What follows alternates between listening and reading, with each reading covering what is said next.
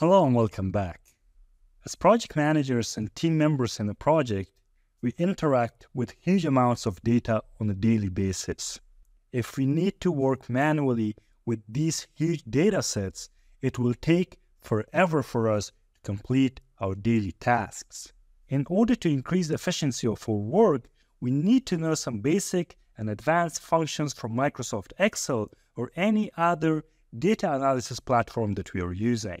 In today's video, you're going to learn 10 essential functions of Microsoft Excel which will come in handy in your day-to-day tasks. So make sure to stick till the end of the video. In case you're new here, in Engineeringly we teach wide range of topics from project management to data analysis, to structural and civil engineering. So if that's something like you're interested in, consider subscribing to this YouTube channel and following us on Instagram and LinkedIn. So let's dive into 10 essential Microsoft Excel functions every project manager and every project team member should know. The first function is the IF function. So in the project context, how can we use this function? For example, in here I have a list of tasks. Besides that, I have the due dates for these tasks. So in the status here, I need to see if the due date is later than today's date, it should be overdue. Otherwise, there should be another label called time left for this task. So for that purpose, I'll use the IF function. And I'll write down equal sign IF open parenthesis. If this date is later than today's date, so I'll write down today, open parenthesis and close parenthesis. And as you can see, today's date is 22nd of June 2024. So if this criteria is met, then it should be as overdue. Otherwise, it should be as time left for this task. Close parenthesis and press enter. And now let's drag it to the end here. So as you can see, the first task is overdue. Since the due date for this task was 8th of January 2024, and as you can see, it's almost six months past this deadline. And same goes for the other ones. The next function that we have is the count A function. So basically the count A function counts all the entries in the data set. So as you can see, we have a long list of item codes along with their quantity purchased in each of the purchases. So if I need to know how many purchases I have made in this project, I need to use the count A function. So I have to count the item codes in here. For that purpose, I'll write down count A. And remember that that count A will leave only the blank cells. All the cells containing a text or a letter or anything will be counted and will be taken into account. So I'll select this cell and then I'll hold Control Shift and down arrow key. Then I'll press enter and as you can see, we have made 232 purchases in this project. The next function that we are going to talk about is the COUNTIF function. So COUNTIF functions counts item in a range based on a specific criteria. So for example, if I need to know how many items or how many purchases contained the item number 1205. For that purpose, I'll write down 1205 in here, and in here I'll write down COUNTIF open parenthesis, and I'll select this range. And in the criteria, what I will do is I have two methods in here. Number one is to write down 1205 and press enter. And as you can see, 40 purchases included the item 1205. And in the meantime, if I want to make this dynamic, for example, I have 1204 in here. So for that purpose, what I can do is I will remove the 1205 from here and click this cell press enter, and I'll apply the same to this cell as well.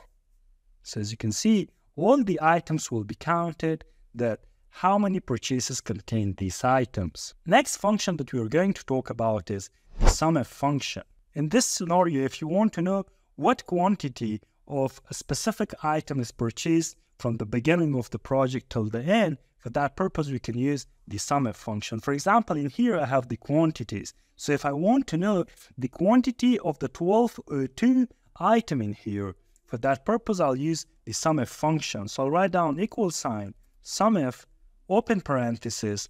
In the range, I'll select this range and then I'll put a comma.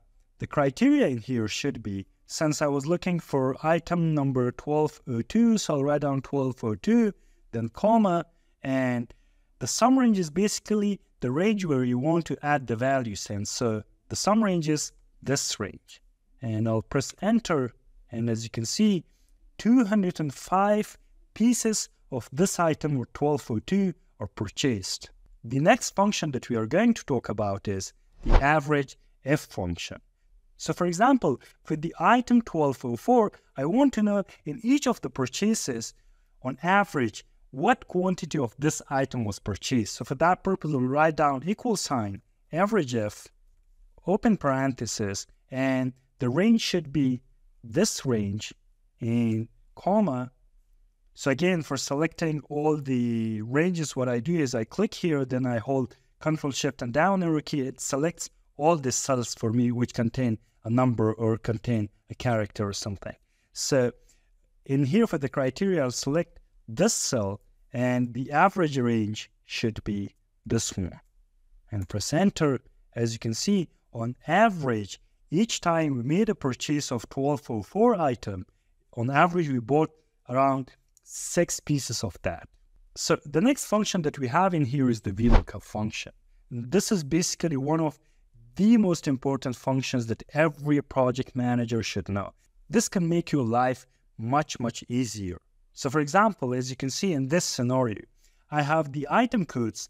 In front of them, I have the item names in here. And I have this long list. So if someone asked me to write down the names of each of the items in here, and if I did that manually, there are around 232 items in here. So manually, it will take a lot amount of time, and that's not efficient use of our time. For that purpose, we're using the VLOOKUP function. So I'll write down VLOOKUP. The V stands for vertical lookup. In other words, it is looking up the values in columns for us. So VLOOKUP, open parenthesis, and the lookup value should be this item code. Next thing is to select the table where we want to look up for this value. And the table that we have is this table. I'll make this absolute by pressing F4 since I don't want this range to move if I'm dragging this down. Then I'll write down comma. The next thing is the column index number. So where is basically the thing or the information located? And here the information is located in the second column of the table. So for that purpose, I'll write down 2. One more thing that you should bear in mind is that whatever value or the lookup value that you have in here is, for example, 1204, that should be located in the left side of your table. If that's in the middle somewhere, your lookup function won't work for that. Again, I'll write down comma, and then we have two options, either true or false. For false, we will have the exact match, which means that for 1204, the exact name will be found. But if you write down true, that will look up an approximate value for us. In all the cases, in most of the cases that we are using the VLOOKUP functions, we are writing down the false. So I'll write down false and press enter. And as you can see, 1204 is paint. So as you can see in here, it's paint and 1202 is concrete and everything is in place. Next and most important one is the index and match function. So in order to give you a demo, for example, in here we have April. In April, as you can see, we have total work hours to be 148 and the total expenses for this month was 12,000. If I write down, for example, January instead of April, as you can see, the total work hours have changed, and uh, besides that, the expenses have changed. And the expenses were same for April and January. That's why I didn't move. But if I write down February in here, uh, so as you can see, the total work hours and the expenses, they will be updated. So how do we do this? So I'll remove these and I'll rewrite the function. So for index and match function, so I would write down equal sign, index, and open parenthesis. So the first thing is to select the array. So the table area for which we were looking for values is this one. So I'll select this area and make this absolute. The reason that I'm making this absolute is that if you're going to drag down this formula down and to the right, this range will not move. So in order to make it absolute, press the F4 key and then write down comma. So for the row number in here, I'll write down match open parentheses. So for the lookup value, what I will do is I will select this cell and make this absolute, then comma, and I'll select the month names from here and make this absolute as well since I don't want it to move downstairs that the range in here this should be constant so again comma for exact match zero close parenthesis again for the column number write down match open parenthesis the lookup value for the column should be this one. And again comma I'll select the titles from here. Make them absolute by pressing F4 0 close the parenthesis twice press enter. Then what I will do is I'll drag this to the right so as you can see in February we have 156 and 16,000 so if I'm making this June as you can see everything is updated for June so next function that we are going to talk about today is the network days function. So basically, how does this function help us? In most of the cases that we are preparing project schedules, we don't know the exact number of work days between specific dates.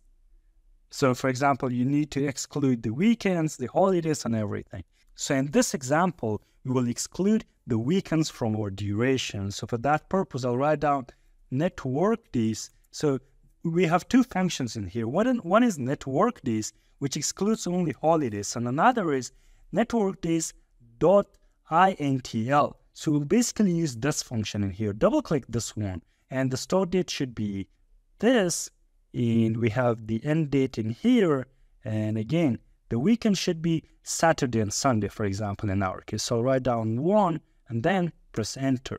So as you can see, we have the number of working days available between all these dates. Next useful function is the TRIM function. So in most of the cases, from my own experience, most of the data is received in a very disordered manner. For example, as you can see, the name Muhammad is written in here, and we have a lot of spaces added for unknown reasons, and the name is not written down in the correct way. So in order to clean this, I'll write down equal sign, TRIM, open parenthesis, select this one, press enter.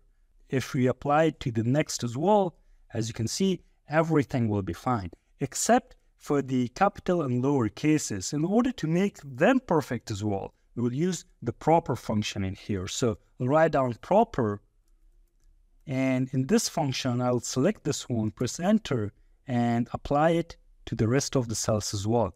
As you can see, all the names will be written in a proper manner. Last but not least in here is the concatenate function. This is also a very useful function. And so basically we have the first name and last names in here. What I want to see is the full name of my employees. For example, I have Alan Walker and then people like this. So for that purpose, I'll write down concatenate and double click this one. Text one should be this, then I'll write down a comma. Then I need to leave a space between the first name and the last name. So for that purpose, double quotes, space, double quotes, comma, and select the last name, press enter. And as you can see, everything should be properly in place. So this brings us to the end of this video. If you think that we missed something and you want to add more from your experience, please don't hesitate to comment down below.